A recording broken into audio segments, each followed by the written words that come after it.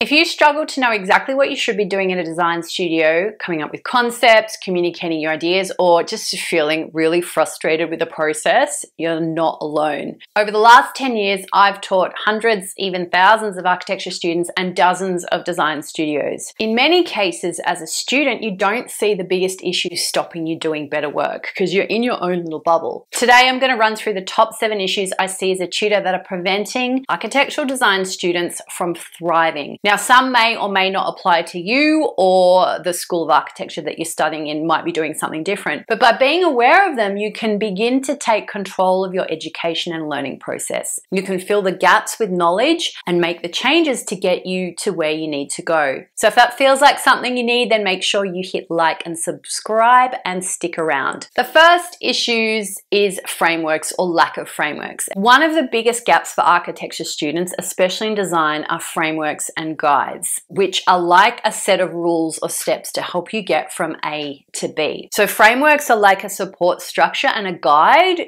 to underpin creativity. They're not a definitive set of rules or an answer, but like prompts or questions or things to consider to help you think and get you to where you need to go. And they're often missing. So let me explain what I mean by that. Big part of Design Studio includes design lectures. So you're shown examples of amazing architecture that relates to your studio project and great examples of drawings, models, and presentations.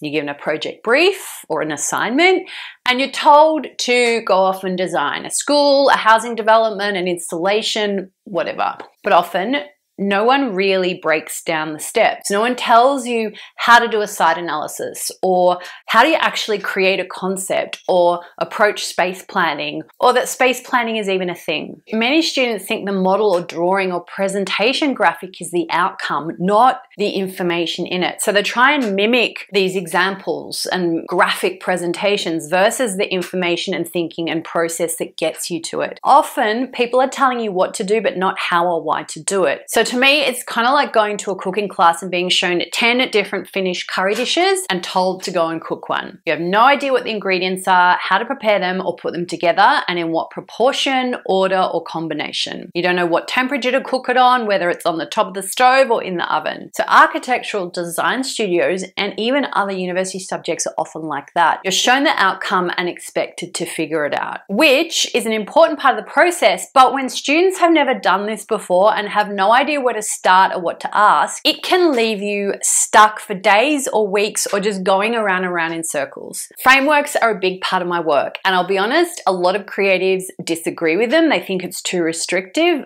that's fine. But it's like taking everything I know and breaking it into steps and ingredients and recipes for certain tasks and steps in the architectural project. You can start to look on frameworks and reverse engineer and break down the processes and thinking that different designers take to get from point A to point B. Now, as an architecture student, you need to be clear on the outcome you're being asked to create. If in doubt, ask, what am I supposed to be doing and how do I do it? And I'm going to be talking a lot more about frameworks in the future. The second issue is critical, conceptual, and creative or design thinking. So to become a successful architect and designer requires different types of thinking at different times. You need critical, conceptual, creative, innovative, intuitive, logical, and design thinking. And some of these are really different. So you need to be able to put on different hats and see things from alternative perspectives at certain times. In architecture and design and most other creative pursuits, there often is no right or wrong answer. Sometimes there might be. And usually, some answers and ideas are obviously better than others when you look at the pros and cons. And you can have multiple good creative solutions to a problem. The design process is all about identifying and testing different options and solutions. To be blunt, in many cases, the school system is letting you down. It's training you to take in information and regurgitate it to deliver an answer that is right or wrong. It's lacking in creativity or thinking outside the box. It's not teaching you to explore options, analyze, evaluate, or question. So then when you get to university, if you struggle with different thinking, you're not alone. As an architecture student, stop looking for the right answer or what the teacher wants and start to understand and practice different ways of thinking and how you can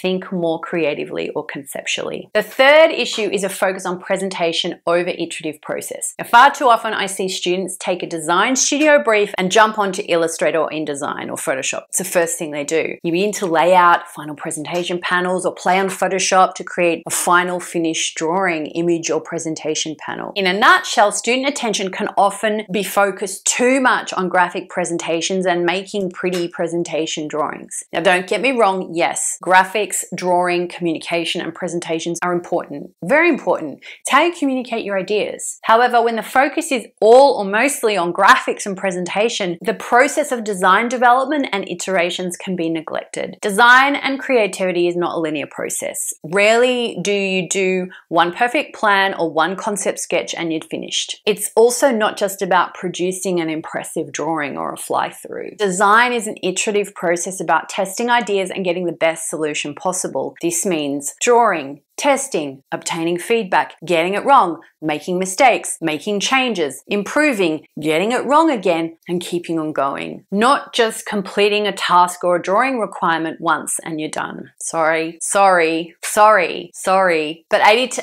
sorry, 80 to 90% of your time should be focused on process, drawing, sketching, testing, making models, feedback, iterating. 10 to 20% of your time should be on final presentation drawings. And often it's the other way around. As an architecture student, an ordinary drawing of a well tested and developed idea is way more valuable than a beautiful drawing of a superficial and untested idea that just doesn't work. The fourth issue is digital over analog. So, following on from too much focus on presentation is too much focus on 3D and digital software as a design tool and the neglect of the analog and 2D. Now, as I said, I see a lot of students jump right into a 3D model in Revit or Rhino from day one. You start developing a plan and then just extrude the walls up, or playing with random shapes and forms with no clear reason or intention, and the rest of the time is spent dropping in random generic doors and windows. At the last minute, you extract the plan, section, elevation, drop it into the presentation panels, and put some pretty graphics on it. Now, the foundational thinking, research, idea development, option testing, and iterations is missing from that. And there's a number of big issues with this. One, students are trying to design in a 3D digital model rather than through 2D scale plan, section, and elevation. It's missing understanding of scale, space, and experience. Tutors cannot give valuable feedback when you're just zooming in and out of a model on a screen. We have no idea of what the spaces are doing until we see printed scale plans, sections, and elevations. Final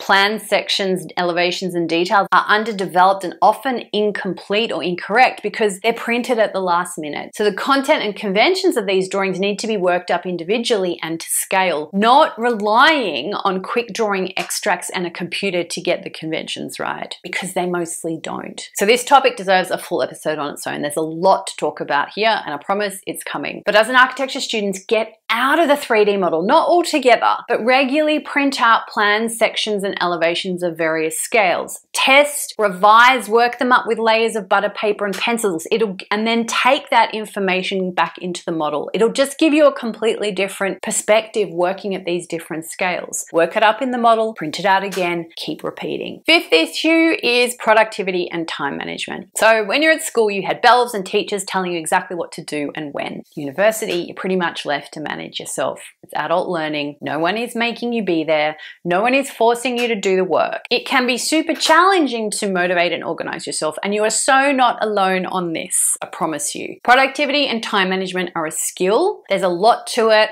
I've been practicing it for nearly 30 years. And unfortunately, no one is really teaching these skills to you, at least not in architecture school or to any of us really, or telling you exactly what you need to know. There are two main ways that students approach productivity and time management. There's students who are late, disorganized, and inconsistent. You turn up without any work and spend the last week or two of semester doing all-nighters and running yourself ragged to get it all done to varying standards. And this, well, it creates a lot of stress. Then there's students who seem to be working all the time. However, your outcomes and work don't reflect the amount of time spent because the time you spend is not efficient or effective. You sit down and play around without a clear focus on what you want to produce or a clear process on how to do this. And when you had a lot of time to do something, you tend to fill it and stretch it out and become distracted. 10 hours pottering in a 3D model or playing with Photoshop filters is not necessarily efficient or effective work. So as an architecture student, commit to developing productivity as a skill. Study it,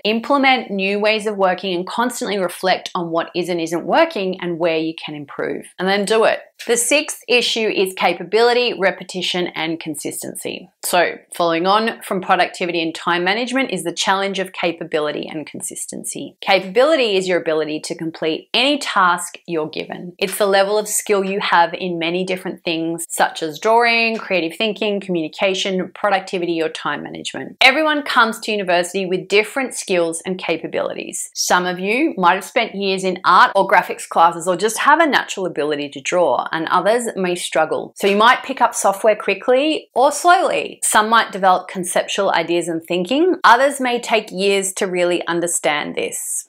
That was me. Some of you have strengths in one area, others in a different area. It doesn't matter. You're only at the start of your design journey, even if you're near the end of your degree and you can improve. One of the big challenges students face around capability is the expectation to be good the first time and get the right answer, to do one plan and be finished, to create one 3D model and be praised and told it's amazing. Design is one of those things that never really feels finished. There's always something to be improved at every level, even in practice. There's a reason most most architects become famous in their 40s, 50s, or 60s because it takes time to get good at this stuff. Now, regardless of where you are, two of the most important things that will move you forward are repetition and consistency. If you want to be better at drawing or sketching, do 200 terrible sketches. Repeat the process. Don't just get disheartened after one. I guarantee by the 10th sketch, you'll be better already. Then learn to be consistent. If 12 week semester requires 20 hours of work a week, you can't do 240 hours of high quality work and 10 all-nighters in the last two weeks. But imagine the difference of three or four really focused hours a day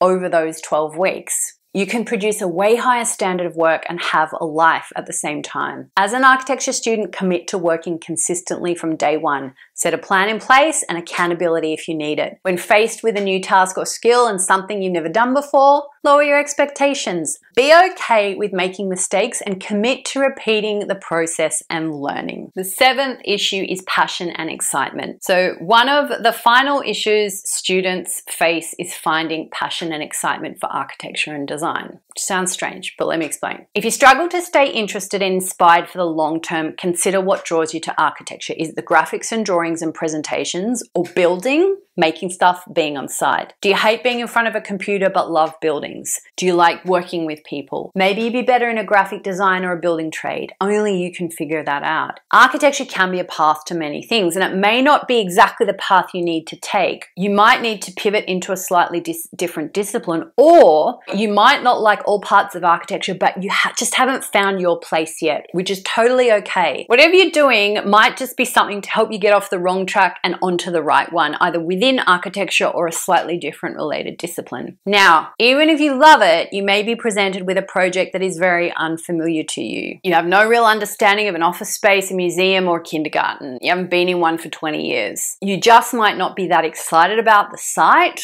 or the brief or the style of lecturing and content just might not work for you. Totally cool. It happens. Not everything is going to be amazing and aligned. So find the part of the projects and lectures that interest and excite you and dig into them, double down. Or consider parts of architecture that have interested you previously in past subjects and studios, and can you find a new perspective to bring in and apply to this project or subject, looking at it from a different way? How can you drive your own passion rather than waiting for someone else to give it to you? Research, explore, and give your own spin to the project. Now, even if it's not exactly what was asked for, most teachers value an excited student outside the box rather than a disengaged student trying to follow the rules and do something that doesn't excite them. Finally, students often get to the end of a project or semester and begin to lose interest and momentum. This is common at all stages of your career. What once seems exciting and new after weeks and months of just being in it, you now can't wait to be rid of it. So for this, you have to find a way to reignite your spark or shift perspectives and keep growing or take a little break and do something else and come back to it. This is another skill to master.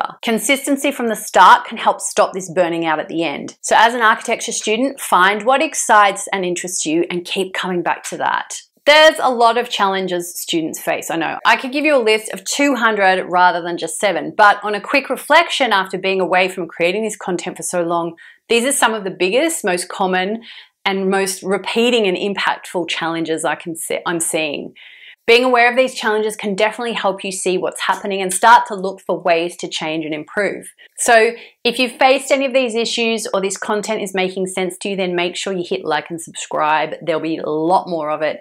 In the meantime, I hope this has been helpful. Here's some other episodes that might be of help popping up on the screen or in the description. Thanks for watching this episode. I will see you in the next one.